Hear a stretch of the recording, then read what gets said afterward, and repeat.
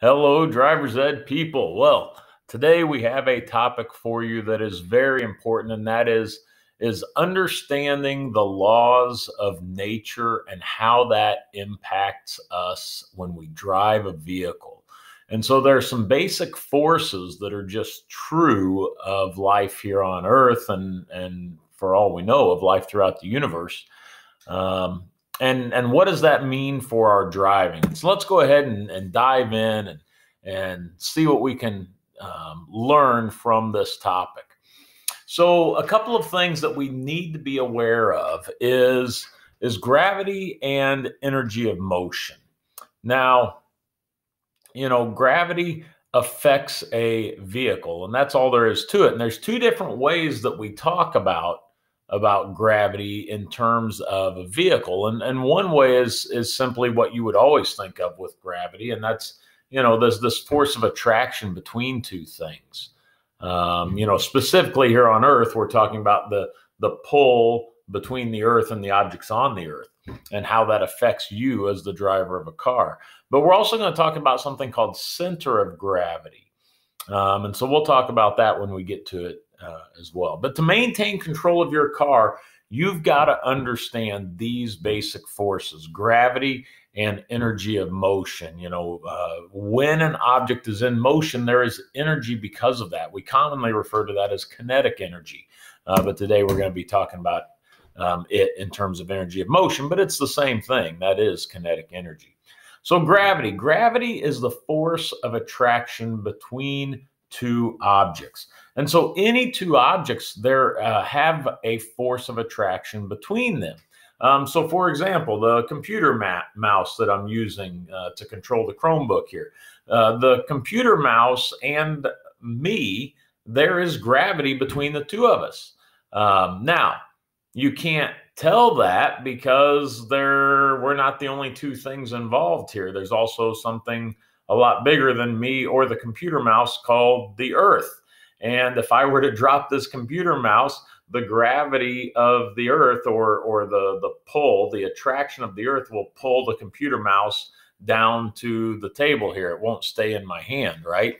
Um, and so size has has a big deal with with gravity, has a big impact on the force of gravity.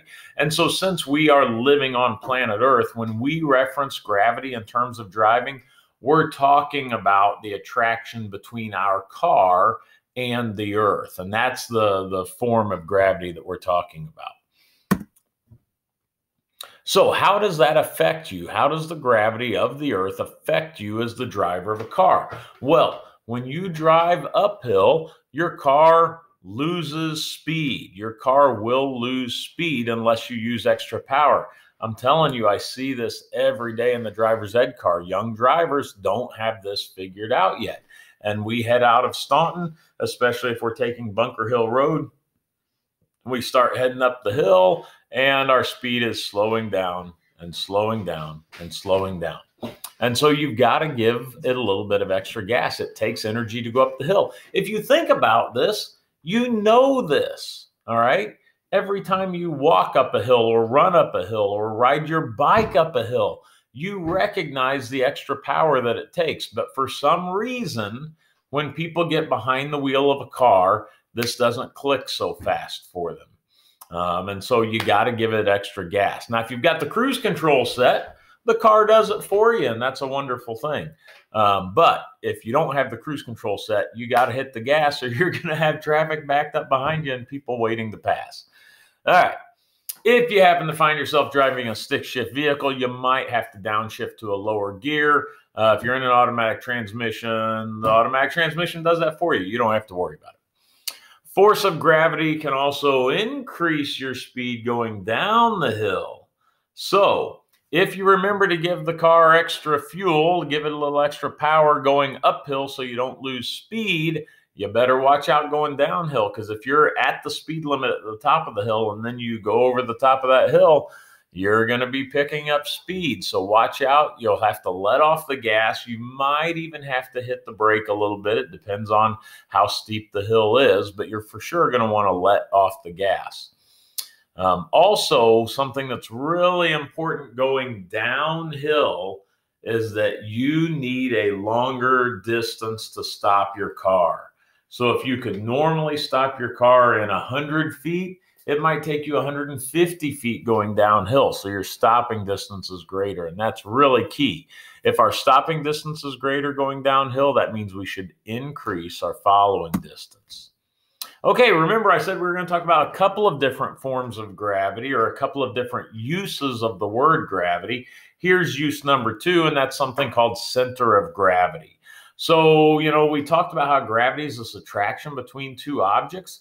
Well, you know, I'm an irregularly shaped object, probably mostly because I eat too much ice cream, but I'm an irregularly shaped object. And um, so, so because of that, where is the gravity between me and another object centered on? Well, that's kind of the idea here. So if you can find the center of an object's mass, that is its center of gravity. Um, so, how does this apply to us driving?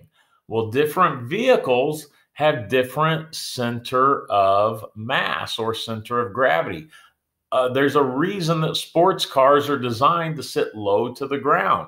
From a performance standpoint, they're less likely to roll over. They can take corners faster. They can, you know, they're because they have a low center of gravity, they perform better in turns. That's all there is to it. Okay. Vehicles that are that are higher than that, something like a, a, a pickup truck, an SUV, a Jeep, something like that that has a higher center of gravity, you cannot take tor- uh, take corners as fast as you can in a low riding vehicle.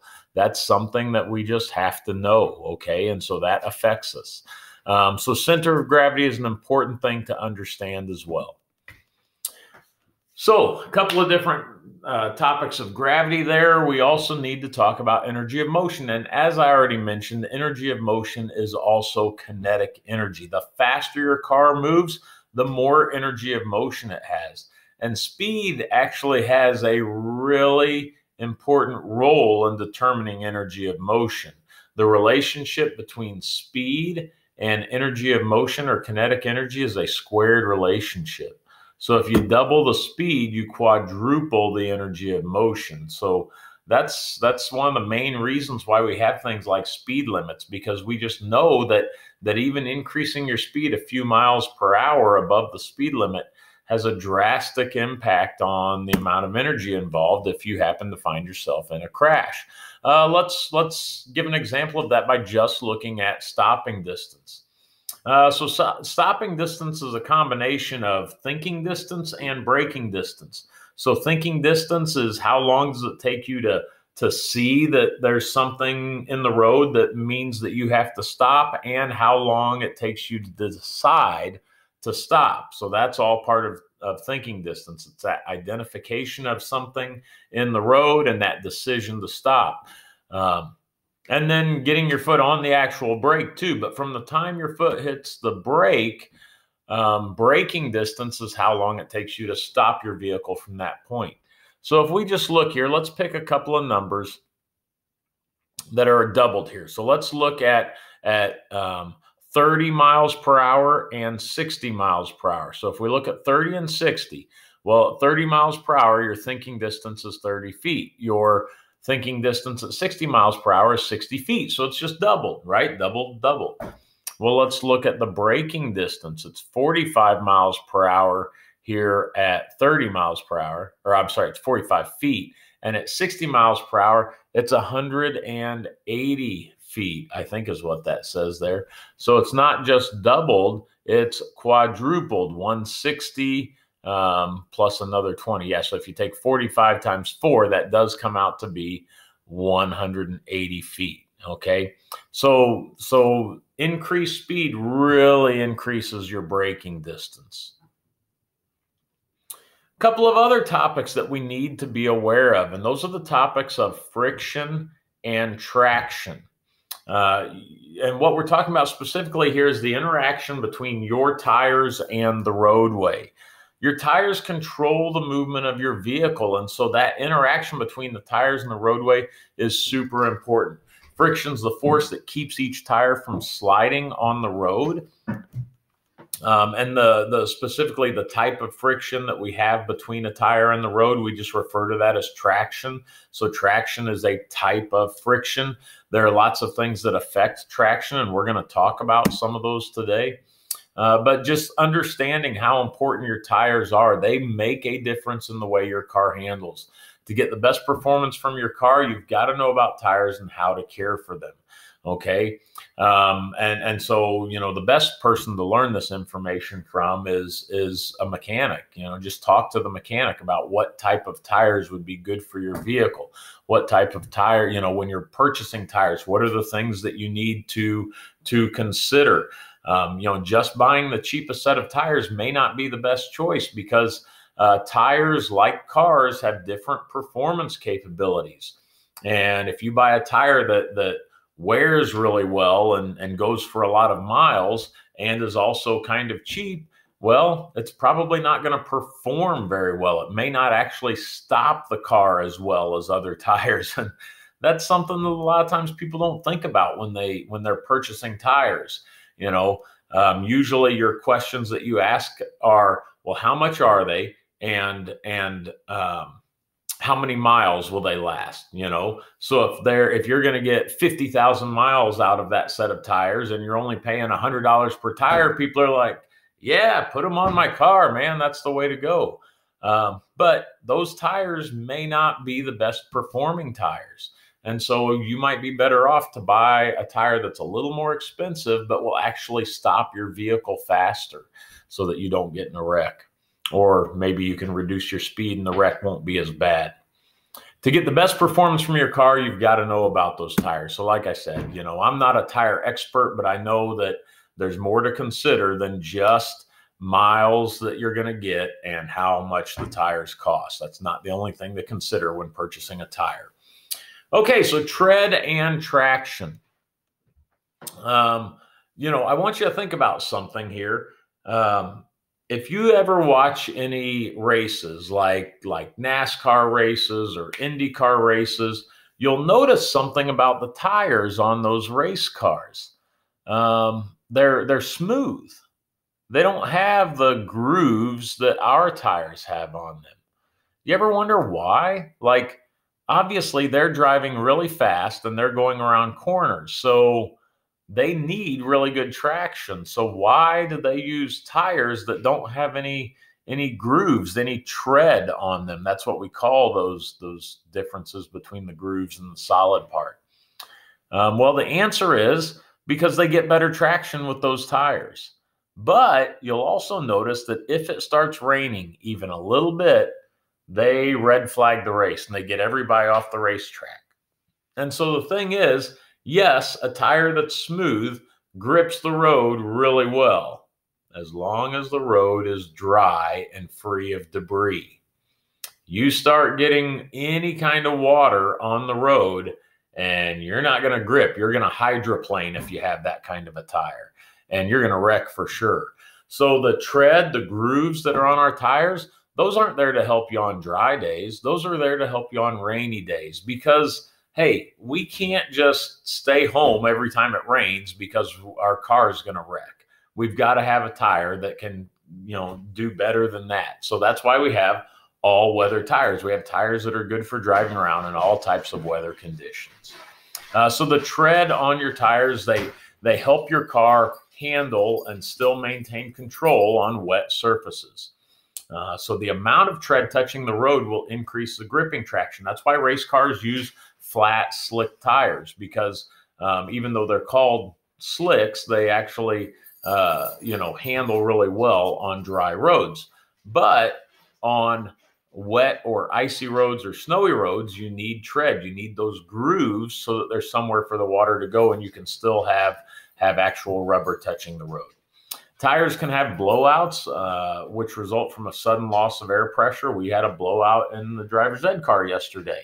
Um, you know, I mean, this happens sometimes. Thankfully, we were in town. We were actually uh, doing some parking and and um, had the blowout, so we were not driving and, and didn't lose control of the vehicle or anything. But it happens. You can you can have a tire lose pressure instantly.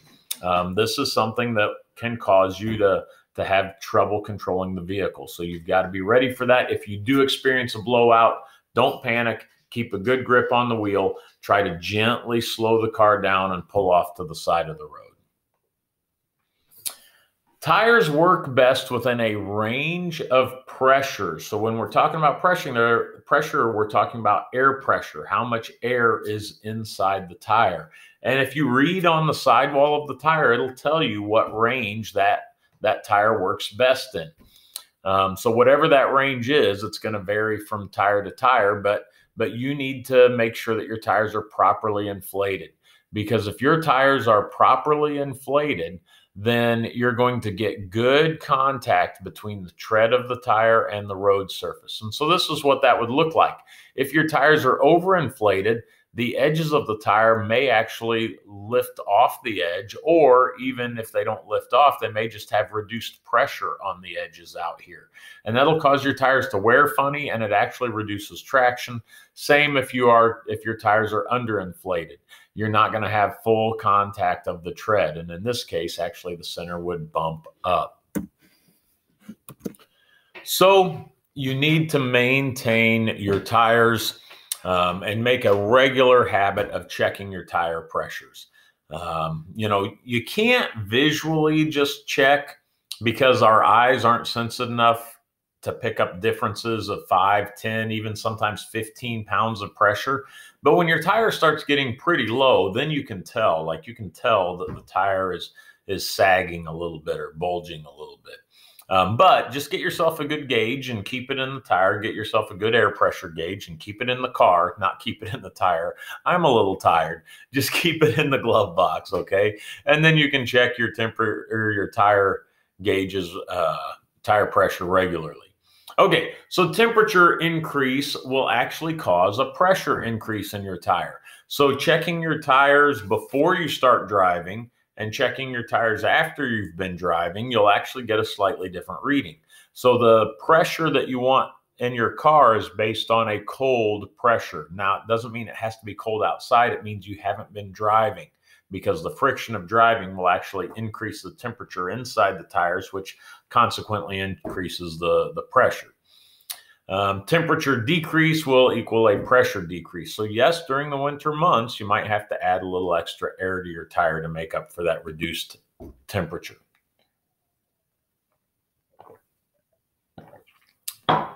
Okay, this is a really important concept for you to understand.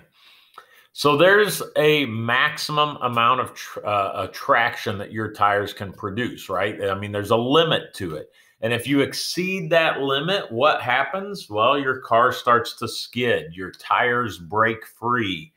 Um, and so, uh, the most common time this happens is when you're trying to do two things that require friction or traction at once. What are the two things in a car that require traction? Um, well, one is braking. So if you hit the brakes or you accelerate, either one, if you're changing speed, that requires traction.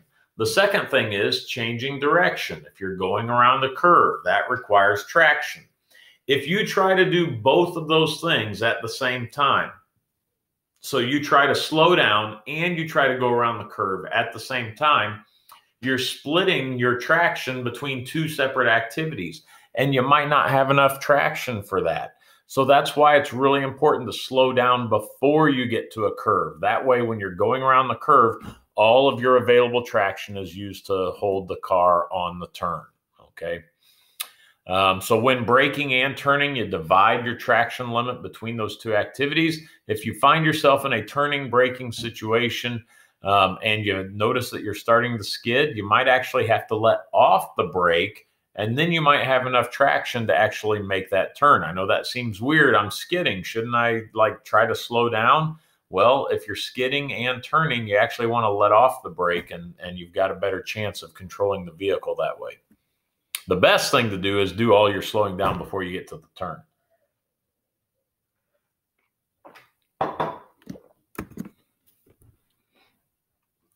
So, um, you need two things to maintain high levels of traction. the two things that you need are you need car that's in good condition. Okay, so that means that you've got good shocks, you've got good tires, your tires have good tread on them. Okay, so that's one thing. You, you need good car condition. Two is that you need a good road surface. If you have a road that is gravel, well, that's not going to help you with traction. If you have a road that is wet from rain, that's not going to help you with traction. If you have a road that has snow on it or a road that is in disrepair with lots of potholes, none of those things help you with traction. So you need those two things to maintain high levels of traction. You need a car that's in good condition with good tires, and you need a road surface that's paved and in good condition, not wet, not rainy, not full of potholes. Um, so those are what you need for good traction. If you don't have those things, then you have less than ideal traction. What are some things that could lead to this? Um, well, you want to make sure that you have good shock absorbers because worn shock absorbers, shock absorbers that are worn out, will cause the car to bounce. And as the car bounces, it loses pressure on the road, and pressure on the road generates traction. So if you have a lack of pressure on the road, you're going to more, be more likely to slide out or to skid. Also, as we mentioned, worn or bald tires do not grip the road well, especially in wet conditions. Um, a paved road is so much better than a gravel road. if you find yourself on a gravel road, don't drive like you would drive on a paved road. You need to slow down because gravel cannot produce as much traction as a paved road can. And then, of course, weather conditions. Anytime you're in rain, snow, ice, sleet, hail, whatever the case might be, slow the vehicle down. Take things a little bit slower because those in, those weather conditions are going to reduce traction. Okay, so one more thing we're going to talk about today, and then we'll save the rest of this lecture for tomorrow. Uh, the the last thing we're going to talk about today, and there's a few slides here, but is curves. So we mentioned briefly that whenever we were talking about split traction, as you enter a curve, you don't want to be slowing down and trying to make the curve. You want to do your slowing down ahead of time. Well, there are some other pieces of information about curves that we need to know. There are two forces that work on your car. One is energy of motion. So your car is headed down the road and then you're trying to get it to change. Well, energy of motion wants it to keep heading down the road. And as your speed increases, so does your energy of motion. So the faster you're going into that corner, the more energy of motion you have that you're trying to turn, and you might not have enough traction to do that. Um, and then the second force is the tire traction between your tires and the road. And if you're going too fast, you just simply might not have enough traction to keep from skidding.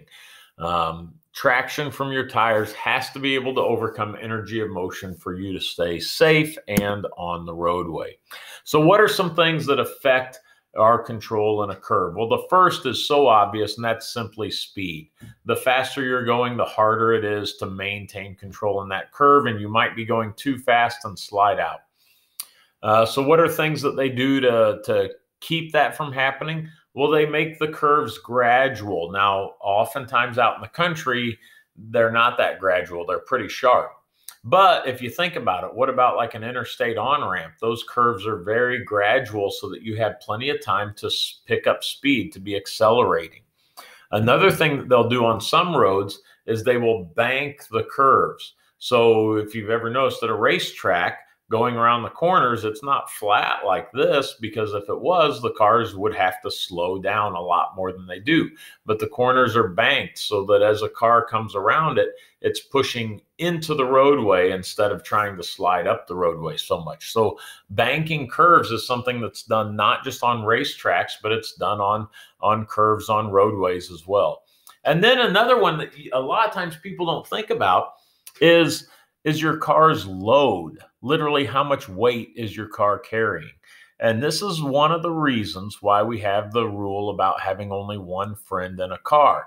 Because the more weight you have in a car, the harder it is to control that car going around a curve. And so, this is something to keep in mind. If you're used to taking a curve at a certain speed out in the country when you're by yourself, and then you got a car full of people, you really should slow down more than normal because you've got more energy going into the curve from those extra people in there. Okay, that is where we are going to stop today's lecture. So, like always, I hope you learned something. I hope you got something out of this lecture and understand a little bit more about natural laws and how they affect our driving. But even if you didn't, just like my favorite professor, Dr. Phillips, used to say, it's better than a sharp stick in the eye. We'll see you.